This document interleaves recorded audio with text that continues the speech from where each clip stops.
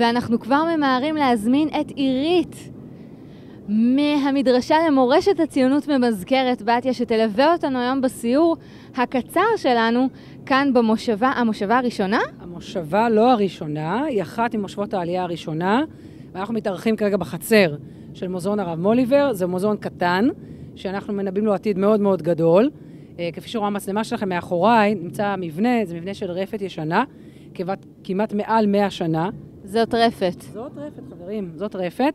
המבנה הוכר כמבנה של מורשת לאומית, עקב התוכן ה... רגע, רגע, רגע, רפת הפכה לאתר מורשת לאומית? הפכה לאתר למורשת לאומית, ממש כך, עם הרצפה המקורית ועם הריח. סתם, ריח אין. ולמה זה? איך זה קרה? למה זה? מכיוון שזה בעצם מפעל מאוד רציני של אה, אחיעזר ארקין, שהוא בעצם יזם והגה את הקמת המרכז שלנו, ציוני דרך, שעוסק בהדרכה, בהדרכה בכלל ברחבי הארץ, אבל בהנחלה של אה, מורשת הרב מוליבר. רגע, אני חייבת לשאול, מה זה הרעש הזה? רעש של חופש, רעות. זה רעש של חופש. מפקד חיל האוויר בעצמו אמר לי שמטוס זה רעש של חופש. אני, אני מבינה שזה כי אנחנו קרובים לבסיס תל נוף? נוף, נכון. זה חלק מההדרכות, ובחלק מההדרכות שלנו, כשיש את הרעש הנוראי הזה, אנחנו מציינים שזה עונת נדידת הציפורים הגדולות. אז אה, זה ככה נכנס בתוך ההדרכה שלנו, אבל זה נכון, זה מעיק. אוקיי, okay, טוב, אז סליחה לצופים בבית, אבל טייסי חיל האוויר חייבים להמשיך להתאמן. אז תסבירי לנו בבקשה איך יכול להיות שרפת הפכה להיות אתר המורשת לאומי. אה, יפה, שאלה מעולה, מכיוון שבעצם התוכן, המהות של המבנה, לא המבנה עצמו כמובן, אלא מה שנמצא בתוך המבנה. זה בעצם דמות של הרב מוליבר, סליחה, שהיא פחות אולי מוכרת לצופים, אה, בהפתעה גמורה. אז מי היה הרב מוליבר? הצופים בבית, מישהו יודע ככה לשלוף מי היה ולמה הוא כל כך חשוב? כי יש רחוב מוליבר כמעט בכל עיר. נכון, ויש רחוב של נעליים בפתח תקווה מאוד מאוד מפורסם. אבל לא. הרחוב בעצם קרוי על שם אותו הרב שמואל מוליבר, שהוא רב גדול, תלמיד חכם, אה, ציוני גדול, שבעצם מסתכל במאה ה-19 אל עבר ארץ ישראל ואומר, אני לא מבין למה היהודים לא מגיעים לכאן. רגע, זה לא היה הרצל? אה, לא, לא, לא. הוא קדם להרצל. כשהרצל עולה על במת ההיסטוריה, הוא כותב בעצם לרב מוליבר ומבקש את עזרתו האדיבה. והוא הסכים לעזור? הוא הסכים לעזור, כי כשהרצל בעצם עולה על במת ההיסטוריה, כפי שאמרנו, אז הרב מוליבר, כבר יש פה מפעלים שהרב מוליבר שותף להקמתם. פה בארץ. פה בארץ. והמפעל הגדול של הרב מוליבר זה בעצם הקמת המושבה, מזכרת בתיה, שבה אנחנו אה, מטיילים היום. ומזכרת בתיה זה על שם בתיה שהייתה... קדימה קצת המאוחר, אבל בעצם הרב מוליבר פוגש את הברון בנימין אדמונד רוטשילד, ורותם אותו, מצליח לכבוש את לבבו ולהביא אותו לארץ ישראל על מנת להקים את המושבה מזכרת בתיה, ורעות יקרה, אני לא יודעת אם את יודעת, אבל התואר הנחשף שלו, אבי היישוב, הנדיב הידוע, השיר המוכר, לו הייתי רוטשילד, מתחיל פה. פה הסיפור הזה מתחיל. כי בעצם, בעצם זה שה... זאת המושבה הראשונה? לא המושבה הראשונה. אז זאת המושבה הראשונה, אה, והראשוניות שלה היא בזה שהרב מוליבר והברון מקימים אותה בתמיכה מלאה ובכסף מלא. לעומת שאר המושבות שמוקמות על ידי אנשים אחרים, כמובן כבודם במקומם מונח, אבל זה באמת אה, איזשהו אה, פרויקט, איזשהו פרויקט אה, ניסויי, שאומרים שאם הוא מצליח, אזי יש תקווה ליישוב בארץ ישראל, ממש ככה. ואז אני מבינה שאם אנחנו כאן ויש פה רעש לא רק של מטוסים, אלא גם של בית ספר, זה סימן שכנראה זה הצליח, זה עבד. זה ממש סימן שזה עבד, ממש ככה. אות ומופת לשאר המושבות, ובכלל היום בארץ מושבה גדולה, מושבה מתפתחת, שאנחנו ציוני דרך פועלים בתוכה. אז זה מרגש מאוד. תגידי, אתם מטיילים רק בתוך מזכרת בתיה? מה עוד אתם עושים? לא, אנחנו uh, פועלים, uh, מזכרת בתיה היא הדובדבן שלנו, ואתם גם תראו בהמשך למה, אבל בעצם המרכז שלנו מדריך מאשקלון בדרום ועד טבריה בצפון. אנחנו ממש חולשים על uh, אזור מאוד נכבד. זה חלק מהעניין שלנו, וכמובן בימים האלה, ימי הסליחות, יש לנו סיורים גם כאן, אבל לא רק. זאת אומרת, סיורי סליחות, אם מישהו רוצה להגיע לסיור סליחות, הוא יכול לבוא לכאן, גם לשמוע על הרב מוליבר, וגם בכלל על כל הסיפור של המושבה. תגידי, הוא גם יכול לשמוע סליחות ממש? אה, אני לא יודעת, והקורונה של היום, המצב הדברים, אז... אה, אבל הרב מוליבר בטוח בנה פה בית כנסת. הרב מוליבר, אה, ברון נתן את הכסף בניית בית הכנסת, והמייסדים בנו אותו. הרב מוליבר פחות בנה כאן, הוא יותר תמך מרחוק. ויש מצב לראות את בית, בית הכנסת הזה היום? ברור, בואו נלך לראות את בית הכנסת, רעות. אז יאללה, אנחנו בדרכנו אל בית הכנסת של המושבה, בואו נלך. בואי, עירית. תשמעו, הלכנו חמישה צעדים מבית הרב מוליבר, ואנחנו בכיכר המושבה, יש פה בית ספר וילדים שיוצאים ונכנסים, וגם את בית הכנסת של המושבה, מזכרת בתיה. נמצא איתנו יאיר. יאיר, נורא רצינו להיכנס פנימה, אבל לא הבאנו נעליים. אתה חיכית לנו בפנים, היינו אמורים להיכנס. מה קורה עכשיו בבית הכנסת? אז ככה, בית הכנסת נמצא בחודשים האחרונים בעבודות של, אה, של שיקום ושל שימור. אתה המשקם והמשמר? לא, אני מייצג את, ה, את הקהילה שמתפללת בבית, בבית הכנסת, ואני גם אה, מנהל את אה, פרויקט הפיילוט של פתוח לרגל שימור. מה זה? פרויקט פתוח לרגל שימור הוא פרויקט של משרד ירושלים ומורשת, שבעצם בא בתוכנית ארצית להנגיש את האתרים, אתרי המורשת שנמצאים כרגע בעבודות שימור, לציבור הרחב, בעצם לחשוף אותם, להזמין את הציבור, לקחת חלק, להשתתף, להיכנס פנימה. רגע, רגע, רגע, רגע, סליחה, אני לא מבינה. אתם עכשיו בשיפוצים. אז מה זה להזמין את הציבור? למה? לשפץ? לשים מלט? בדיוק. התוכנית צופה היכן שמתאפשר.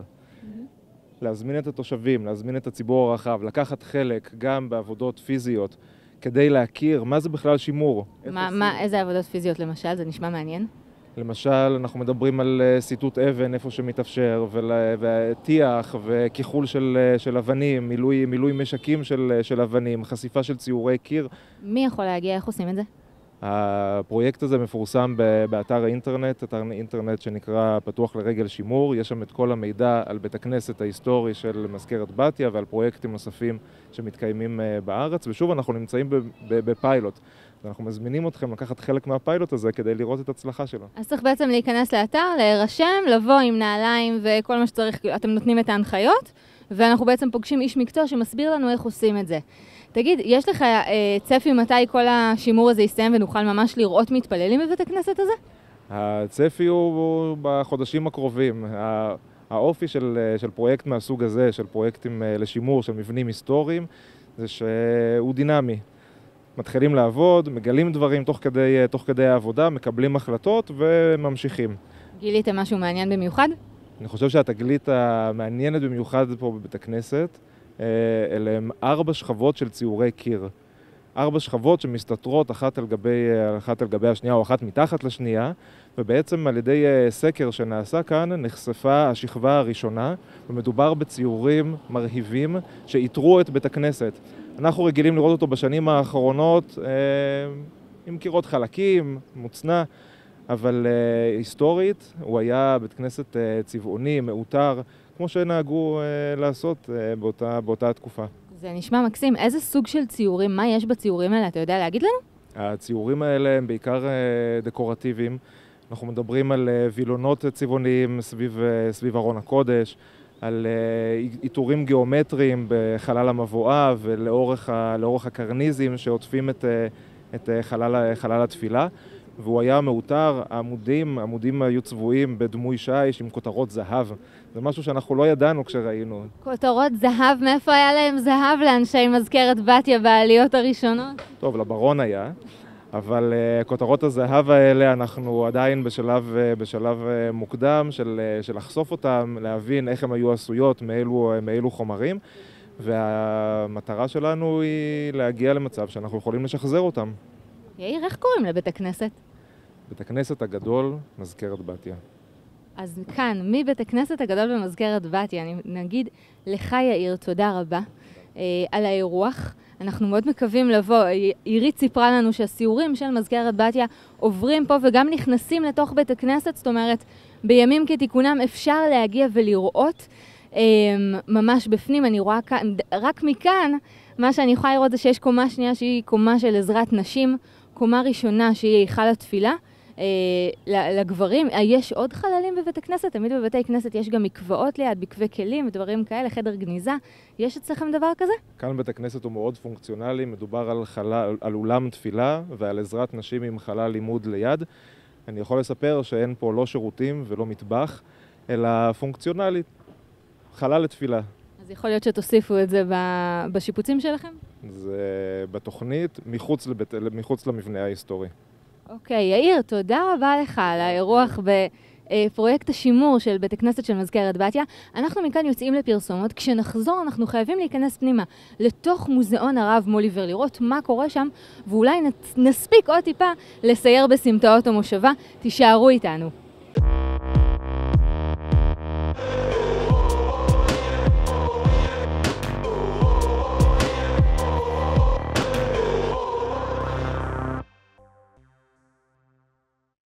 איזה יופי שחזרתם אלינו, אנחנו כאן במושבה מזכרת בתיה.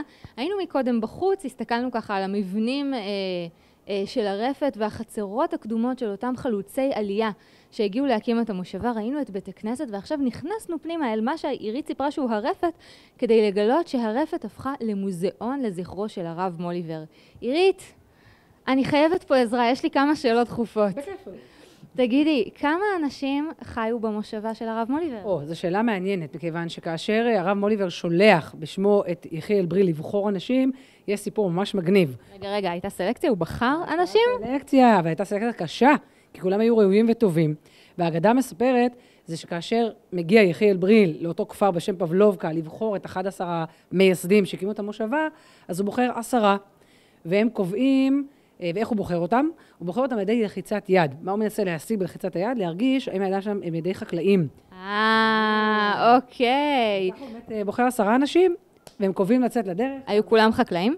כולם חקלאים מלידה, כולם רציניים, כולם דתיים, אנשי העלייה הראשונה, והם יוצאים לדרך כעבור שלושה שבועות, פוגשים אותו בתחנת הרכבת, ויחיאל בריל כמו מורה טוב, סופר, אחת, שניים, שלושה, אחד עשר, שנייה. הוא לא אישר. Mm, היה לנו עשרה מקודם. סופר שוב, שוב אחד עשר, הוא שואל את החברים, מה קורה פה? למה אחד עשר? אז הוא אומר, תשמע, דרך ארוכה לפנינו, אנחנו לא יודעים מה יהיה. עשרה אנשים זה מניין, ואולי משהו יקרה בדרך, אז הבאנו אחד ספייר. כמו שאומרים בסופר, אחד פלוס אחד.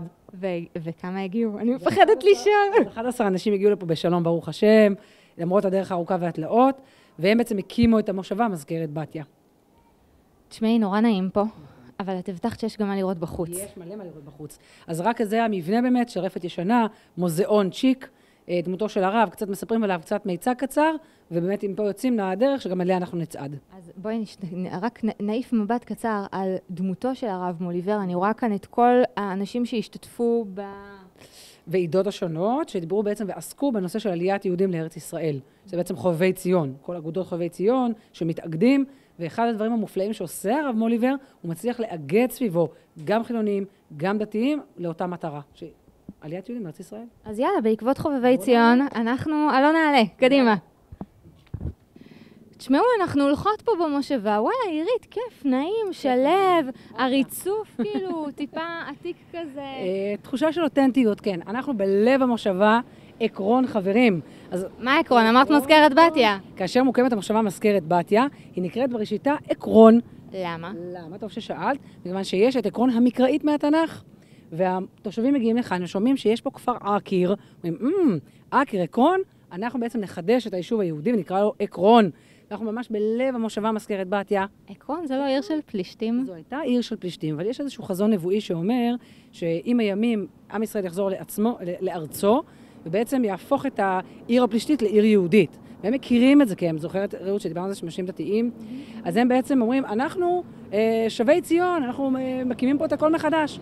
אז הם מגיעים לכאן, וקונים פה אדמות, ומקימים ארבעה בתים. אבל זה נשמע נורא קל. זה לא היה קל, כי מי ששולט בארץ, רעות, הם העות'מאנים. אה, והם לא אוהבים יהודים ולא אוהבים מתיישבים. לא אוהבים מתיישבים. אז לכן היהודים פועלים בערמה, ב, ב, כלומר מנסים לעבוד על הטורקים. לא כל כך יפה לומר את זה, אבל זה מה שהם עושים. אז איך הם עושים את זה? איך הם עושים את זה? הם מגיעים לפחה הטורקי ואומרים, תשמע, אנחנו רוצים לבנות רפתות. הוא שומע רפתות, והוא יודע שרפתות זה כסף.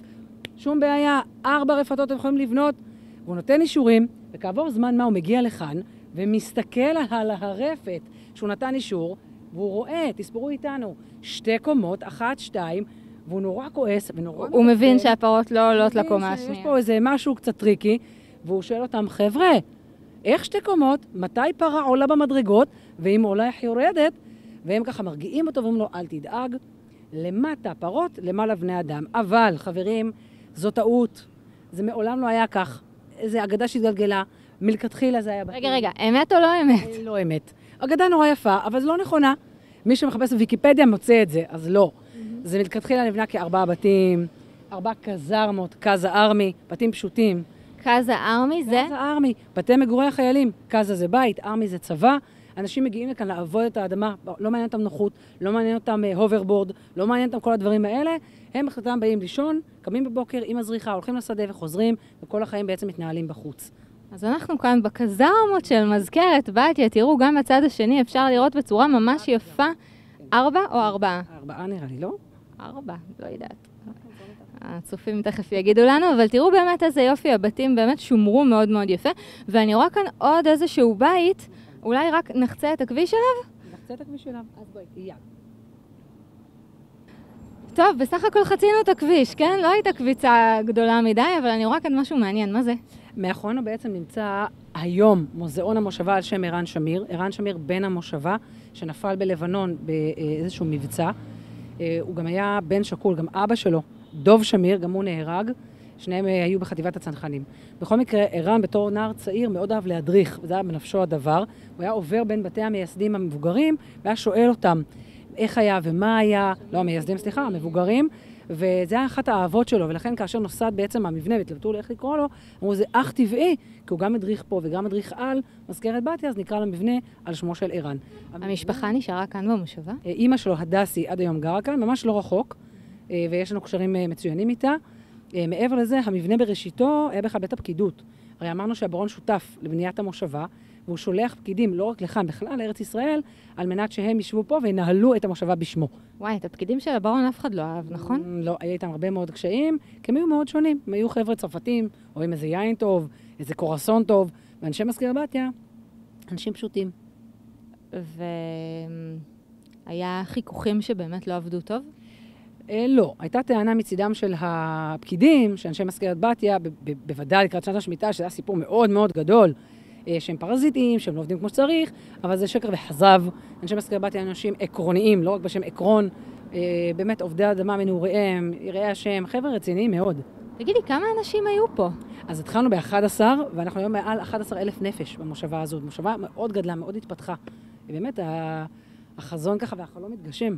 שזה מדהים, אבל רציתי באמת לשאול, כשאת מדברת על 11, זה 11 גברים או 11 בתי אב? אז זהו, זה 11 גברים, שהם גם אה, מביאים איתם כעבור שנה מיום עלייתם לארץ והשתעקותם כאן, שעון אה, להשתקע, אה, את המשפחות שלהם. האמת ששאלת שאלה מגניבה. כי תמיד אנחנו אומרים את זה, זה 11 אנשים, אבל זה 110 נפשות. זאת אומרת, כל משפחה, בלי עין הרע, כמו שאומרים. מביאים את הילדים, את הסבא ואת הסבתא, וכולם גרים באותם ארבעת בתים שדיברנו עליהם. 110 נפשות רק בבתים האלה שראינו? בבתים הללו, כן.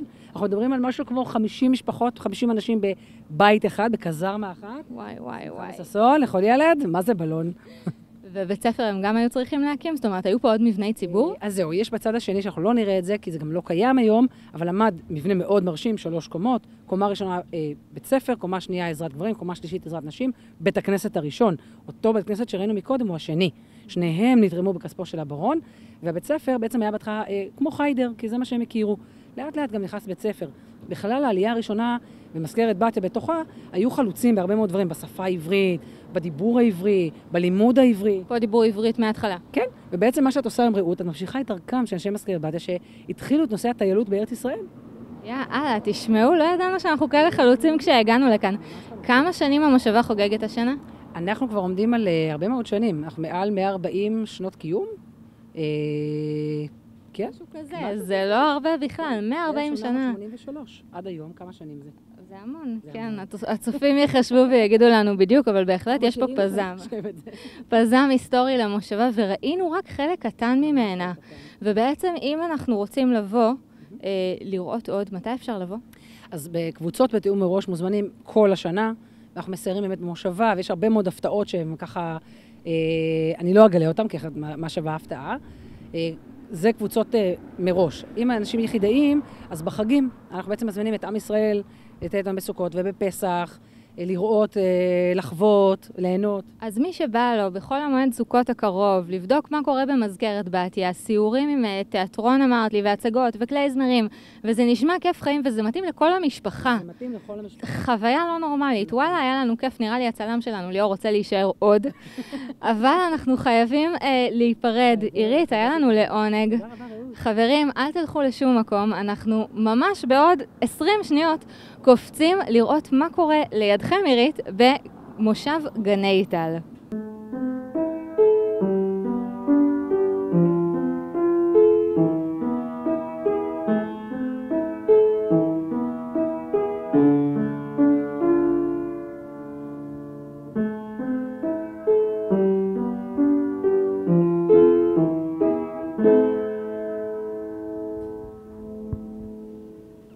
דקלה, ד' גלעד.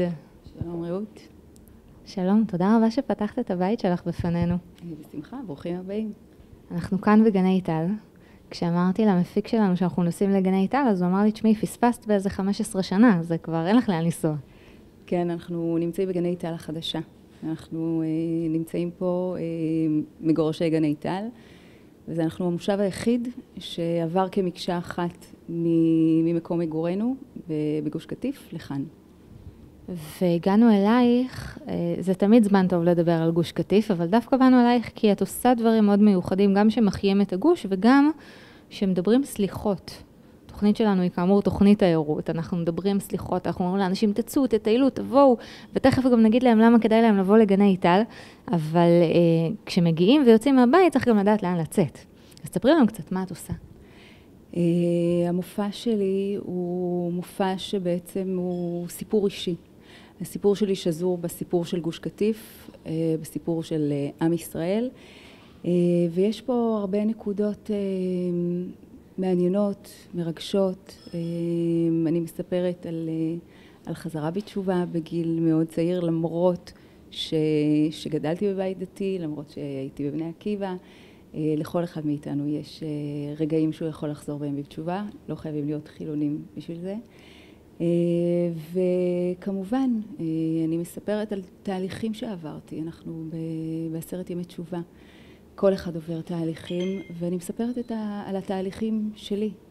והפסנתר הוא כמובן חלק מהיצירה שלך, זאת אומרת, הכל מלווה במוזיקה. כן. באיזה גיל התחלת לנגן? כן. Uh, למעשה התחלתי לנגן בכיתה ד', ניגנתי על אקורדיון. Uh, אקורדיון, זה כלי שעוד קיים. זה כלי שעוד קיים, הוא נמצא פה בבית, אבל אני כמעט לא נוגעת בו. אחרי חמש שנים שלמדתי אקורדיון, uh, עזבתי, עזבתי את הכלי, זה היה ממש חלום ילדות, ולפני שנתיים התחלתי ללמוד במזמור, ממש late אה, blooming. אחרי שנים שלא נגעת בכלום, עם ילדים בבית ובלאגן. כן, כן. אה, זה ממש... אה, אני אפילו לא חשבתי על פסנתר, אני רציתי לשיר. פשוט רציתי לשיר, ותמיד שרתי. אה, עד הגירוש שרתי והופעתי, ולא לא בצורה מקצועית, אבל הופעתי בחו"ל והופעתי בארץ, ותמיד בכל אה, הזדמנות uh, הופעתי ושרתי. ו... ואז אחרי הגירוש לא, לא הצלחתי, לא הצלחתי לשיר. במיתרי הקול אה, אספו עליהם עוד שכבות שכבות שהתעבו, ובאמת רק לפני שנתיים עצרתי את כל, ה... את כל התהליך הזה של, של דעיכה וחזרתי לשיר. וברבק, עם מופע של שירים שלך ומוזיקה שלך, ואיפה אפשר למצוא אותך אם אנחנו רוצים להגיע? אמרת שזה מאוד מחובר לאלול ולתשובה ולסליחה, ואנחנו כל כך מחפשים את זה עכשיו. אז איך אפשר למצוא אותך? סליחה, אני נמצאת אה, בפייסבוק. בפייסבוק ובכל מיני מופעים שאת מעלה, שאפשר פשוט לקנות כרטיסים ולבוא וקצת לחוות אותך. זה כמובן אה, מיועד לנשים, ואולי גם לגברים שרוצים לשמוע. אמ, המופע בעיקר, אה, בעיקר לנשים. אני עשיתי אה, עם, עם הקורונה, שמאוד מאוד קשה אה, להעלות מופעים ולסגור מופעים, אה, היו לנו הרבה מופעים פתוחים. לפי התו הסגול. לפי התו הסגול, באמת הקפדנו על הכל. לשמחתי זה, זה, זה היה באוויר הפתוח, זה היה מאוד, מאוד מרגש. גם העניין הזה שצריך בעצם רק עשרים בכל פעם אה, יצר אינטימיות מטורפת בקהל.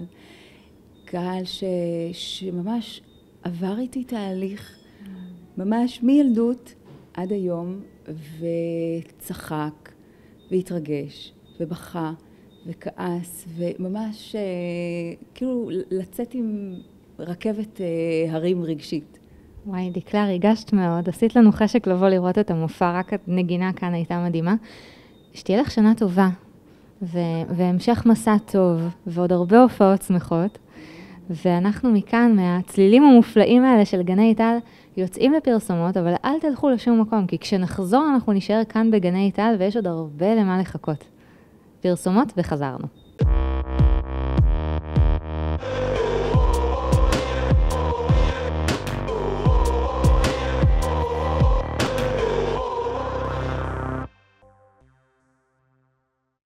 חזרתם אלינו, תוכנית התיירות של ערוץ 20. בזמן שאתם ישבתם וראיתם פרסומות, אנחנו כבר הספקנו לקפוץ לתחנה הבאה והגענו אל מבוך המורינגה, ששייך למוטי סנדר. שלום וברכה. שלום, שלום, מוטי, נדייק, גם לי וגם לאשתי חנה. ביחד אנחנו כאן עמלים ועובדים. והמפעל הוא משותף. המפעל משותף, הבית משותף, הכל ברוך השם משותף. אז מוטי, אנחנו כאן בגני טל, שהייתה שם והגיעה לכאן, ואתם הגעתם לכאן והחלטתם לעשות מבוך? זה סיפור מאוד ארוך, המבוך. הגענו לכאן לפני 15 שנה, בשנת 2005, היום 2020.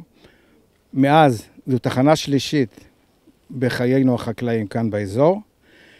כאן אנחנו במבוך עם המורינגה למעלה משנה, ופשוט מאוד החלטנו שאנחנו הולכים לעשות משהו שיהיה טוב לנשמה, עם הרבה שליחות והרבה נתינה לעם ישראל, לכל מי שצריך וחושב שהמורינגה יכולה להועיל לו.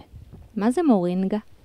מורינגה זה שייך למשפחה של אה, מזון על. super food, קינוע וכאלה, נכון? זירי צ'יה. כל אלו נמצאים שם אי שם בתחתית הסולם, לעומת המורינגה, שאומרים שהמורינגה היא בעצם הטופ שבטופ. ואת המורינגה אפשר לאכול? המורינגה, 95 אחוז ממה שיש על העץ אפשר לאכול.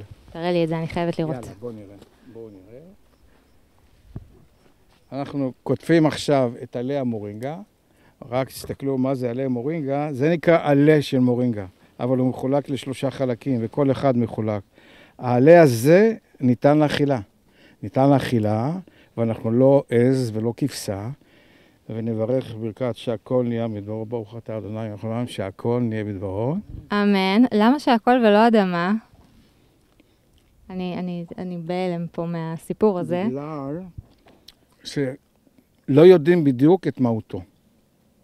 עץ המורינגה הוא ממש פלא שבפלאים. אם במדבר היה לנו 40 שנה את המן, פה יש דבר שבעצם האנשים יכולים לחיות על המורינגה. מה פירוש? הפירוש, שאם אדם אוכל מורינגה, אם הוא אוכל רק מורינגה, אם הוא אוכל רק מורינגה, יש כאן מלא ויטמינים, יש פה מלא מינרלים. יש פה ויטמין C בכמויות שאם בתפוזים אנחנו מדברים ששם יש כמויות אדירות של אה, ויטמין C, פה יש פי שבע ויטמין C יותר מאשר בפרי הדר. נשים מניקות, על פי מחקרים. היו לי השבוע שעבר פה שתי יועצות הנקה, ויש לנו אפילו סרטון של אחת שאומרת, אני מוכנה להצטלם. היום זה מומלץ לנשים מניקות לצרוך מורינגה. ואיפה גם- אפשר לקנות מורינגה אם לא מגיעים לכאן? או שדבר ראשון תבואו לכאן, אבל... א', תבואו לכאן, ואם לא, תצרכו מורינגה. שלי או של אחרים, תצרכו מורינגה. מוכרים את זה בחנויות? כן, בחנויות הטבע מוכרים את זה. אנחנו בערך, אני חושב, בעשרה מגדלים בארץ, וזה תופס. זה, בעולם זה מוכר, זה הגיע ארצה מהודו, הביאו את זה לכאן אה, עולים חדשים שעלו ארצה מקוצ'ין. הם נטעו וזרעו בבתים עצים כדי שיהיה להם מה לאכול. הגיע לפה אליי אחד מבית ספר שדה, אשל הנשיא, בבאר שבע. הוא שואל אותי, מה זה? אמרתי לו, זה מורינגה. הבחור כמעט נפל, כמעט התעלף. הוא זכר את זה מסבתא שלו. הוא זכר את זה מסבתא שלו.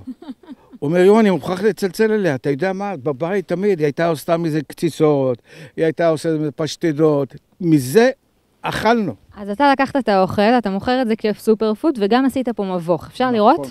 בטח, יאללה, יאללה. בואו בוא נלך לראות את המבוך.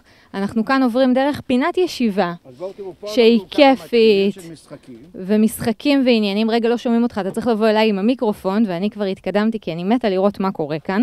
והכל עץ, משחקי עץ כאלה שאנחנו אוהבים, מאוד חינוכי. איזה קרדיט קטן ליהודי שמייצר את זה. יהודי בשם יהודה קולטון, יש לו עסק שנקרא לצאת מהפלונטר, שהוא בעצם אוסף עצים, הכל פה עם העצים ממוחזרים, והוא מייצר את כל המשחקים האלו, זה סטנגה, ושם משחקי חשיבה. אנשים שמגיעים לפה יוצאים מהכלים, הם רגילים, א', משחקי מחשב, רוצים לראות כל מיני, פתאום יש לנו פה בצד השני, בכל מבוך, כל מבוך מורכב פה מארבעה חדרים.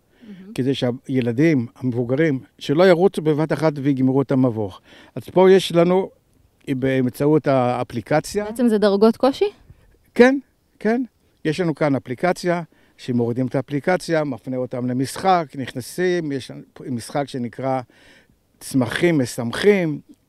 בוא, בוא, בוא ניכנס שנייה בוא פנימה. ליאור. בוא. ליאור מגיע איתנו ואנחנו נכנסים. אם אנחנו מתברברים, אנחנו... אז מה עושים באמת אם הולכים לאיבוד? אנחנו כאן בתוך המורינגה. מוטי, מוטי, איפה אני? אז הנה פה התברברנו, אז בואו נחזור ונלך לכאן.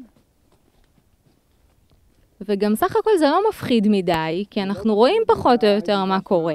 זה לא רחב, זה לא רחב מדי, ואתם רואים, תסתכלו פה, אנחנו פה בעצם זרענו את הדברים האלו 20 אלף זרעים של מורינגה לפני שנה ומשהו. והיה זרוע הכל, אם אתם רואים פה, יש פה חורים. אנחנו זרענו את זה פה בצורת שתי וערב, בגלל שלא ידענו עדיין איך נראית המפה. אחרי זה עשינו את הצורה של המפה, כל תכנון מקומי. וואי וואי, תשמעו, הוא בורח לי כאן. מוטי, אני חייבת למצוא את הדרך חזרה.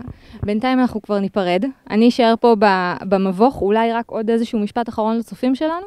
כן, אתם מוזמנים, אנחנו פתוחים כמעט כל השנה, חוץ מחודשי החורף.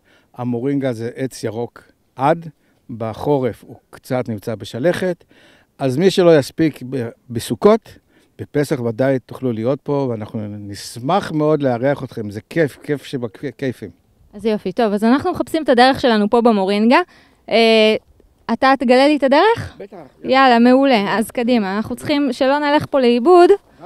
חברים, קפצנו מהמורינגה והגענו אל הדגים. ויש לנו פה את גל. היי! אהלן, אהלן, שלום, נעים מאוד. אתה גל שעובד בסנפירים.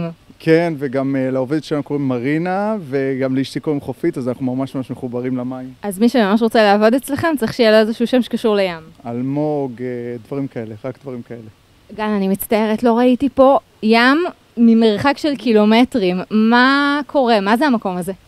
אז קודם כל, ברוכים הבאים. Uh, המקום שלנו זה חוות סנפירים, וככה באתם uh, מהר מהר, אז אני אשתדל גם להיות מדויק במה שאני אומר. Uh, זו חווה שהוקמה מתוך uh, איזשהו חלום uh, שלי. אני דוקטור לביולוגיה, השתגעתי קצת, לא רציתי ללכת במסלול הקונבנציונלי, ובחרתי להקים חוות דגים. המרת את מסדרונות האקדמיה באיות השחורה ודגים. לגמרי לגמרי. הרעיון הוא אה, חקלאות, תוך כדי אה, אירוח של אנשים והנגשה של כל התחום המטורף הזה לאנשים. איך עושים חקלאות עם דגים? למעשה, זה אני לא כל כך יכול להכניס אתכם, אבל אולי אה, יהיה לכם אה, זמן קצת להסתובב בחוץ, אתם תראו אה, בריכות גם של צמחי מים, גם אנחנו מגדלים כאן צמחי אקווריום. צמחי מים זה הצמחים הירוקים המגעילים שאף אחד לא רוצה לדרוך עליהם? לא, לא, זה, לא, זה הצוד. זה הצוד, מזה אנחנו נזהרים, למרות שזה תחום מאוד מאוד חזק בארץ. אנחנו מגדלים כאן את צמחי המים שלנו, זה צמחי בריכות. אולי היה לנו זמן אחר כך קצת להראות לכם מה, מה הדברים. אה, אנחנו מגדלים כאן גם דגים. חלק מהדגים זה גידולים שלנו ממש אה, משלב הרבייה. אה, חקלאות לכל דבר, חקלאות ימית. זה דגים שאוכלים אותם בסוף? חס וחלילה את הדגים שלי אל תאכלי, אלה דגים שלא שווה לאכול אותם מהסיבה פשוטה אה, שהם לא התמיינו במהלך הזמן לטובת האכילה. זה ממוין ועבר השבחה גנטית לטובת צבעים, צורות וכן הלאה. זה לא דגים שכדאי לאכול. אז, אז מה, רגע, בוא נסתכל שנייה על הדגים, ואני אשמח שתסביר לי טיפה מה עושים עם דגים כאלה שבשבילם עושים חקלאות. תראי, הדגים עצמם אה, שאנחנו רואים למשל פה בבריכה הגדולה שלנו, אלה דגי אה, קוי. דגי קוי הגיעו אה, מהמזרח הרחוק, אה, תרבות של באמת אה, אה, המון זמן של אה, פיתוח, זה לוקח הרבה זמן. דג כזה יכול לחיות גם 250 שנה, כן, כן, כן, יש את... אה, וואו. כן, כן, 250 שנה. יש אה, קויים חיים אה, בסביבות ה-180 שנה כיום. אה, דג כזה יכול להגיע לכדי שני מטר, וממש דג עבה וגדול. אה, יש דגים כאלה שנמכרים בהון תועפות, אם תסתכלו ביוטיוב אפילו, אה, אחד מהדברים שראיתי לא מזמן, 60 אלף יורו, זה מספרים מאוד מאוד גבוהים. אז זה בטח, אז זה בעצם סוג של הובי של אנשים שהם אוספים את הדגים, גדלים אותם אצלם בבית וקונים אותם כאן אצלך? נכון מאוד, אה, תמיד אה, כשאנשים עומדים ואנחנו מספרים קצת מחירים, אנשים חושבים שזה רק לאוליגרכים ואיזה נובורישים או משהו כזה, ממש ממש לא, יש לנו אה, בן אדם מבוגר שמגיע לכאן פחות או יותר פעמיים בשנה, אנחנו נותנים לו כיסא, הוא יושב, שותה משהו, נרגע, הוא מגיע בכלל עם מונית, ובוחר בהנדפיק, מה שנקרא, את זה ואת זה אני רוצה, ואנחנו לגמרי לגמרי זורמים איתו. זה ממש אנשים שצריכים להבין בזה, אבל גל, אחרי כל החקלאות שאתם עושים פה, שזה באמת מדהים, אתם עושים פה עוד משהו. אתם מביאים לפה בתי ספר. נכון מאוד, אנחנו בעצם אה, עושים גם אה, סיורים אה, בבתי ספר, אה, גם אה, סיורים של בתי ספר, ואנחנו מאוד מאוד גאים אה, במה שאנחנו עושים עם אה, תלמידים. אנחנו מגיעים לבתי הספר עצמם. אה, עם הדגים? עם דגים, עם אה, אקווריומים שאנחנו בונים אצלם והם אה, מגדלים את המערכות שלהם, וזה לא רק דגים, ממש לא, אנחנו מתחילים אה, איתם משלב ממש האטום הבודד, מלמדים אותם איך אטום הופך להיות אה, אה, מולקולה ואיך מולקולה הופכת להיות מבנה פעיל ואיך זה הופך להיות כל הדבר הזה עצה ואיך זה הופך להיות סרטנון ואיך זה... תגיד, תגיד, תגיד, זה מעניין את הילדים? בכנות אבל, אז מה אם זה טלוויזיה? תגיד את האמת. האמת היא ש... ועכשיו בכנות מלאה, אה, עשינו פיילוט בשנה הקודמת אה, על בית ספר אחד. אנחנו היום נמצאים בחמישה בתי ספר. אה, נכון לשנה הזאת שמתחילה עכשיו אם הקורונה תהיה איתנו ולא נגדנו.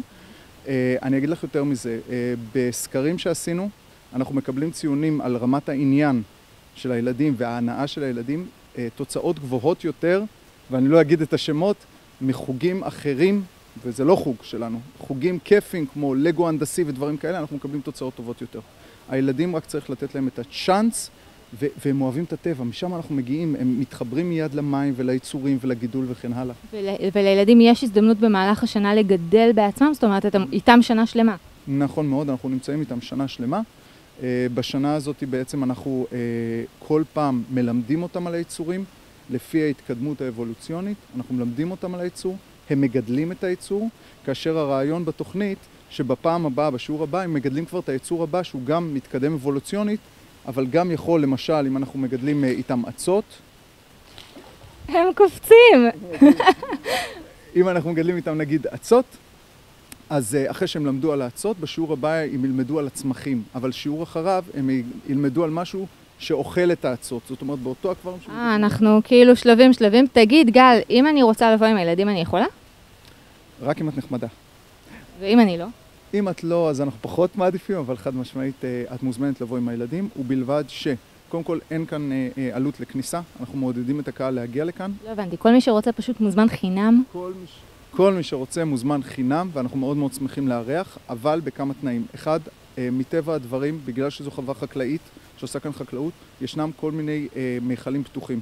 אז צריך לשמור מאוד על הילדים שהם קרובים אליכם, אה, שלא יהיה כאן בעיה. והדבר השני, אנחנו, לפני שאנחנו אה, רוצים אה, למכור ורוצים להכיר, אנחנו מאוד מאוד חשוב לנו התחום עצמו ובעלי החיים עצמם. אה, אנשים אה, שלא יכולים לשמור על רווחת בעלי החיים לא יכולים להיכנס לכאן, וזה מאוד מאוד חשוב לנו. אנחנו לא טולרנטים לדברים שקשורים אה, בפגיעה בדגים. אבל כל השאר מוזמנים בשמחה. בשמחה רבה. גל, מחוות סנפירים, תודה רבה לך על האירוח, היה מטריף, ותכף נראה לי יש פה תור ארוך, אז אולי רק נבקש ממי שמגיע עם הילדים לתאם כניסה. אתם פתוחים בסוכות? אה, כן, אנחנו פתוחים כל הזמן, חוץ מאשר שבתות וחגי ישראל. וואו וואו, אז חברים, סוכות נראה לי זה הזמן, גם יש פה אחלה צל. תודה רבה לך, גל. אנחנו מכאן מסיימים את התוכנית שלנו היום. חברים, היינו במזכרת בתיה, וראינו שם את ההתיישבות שלפני כמעט 200 שנה.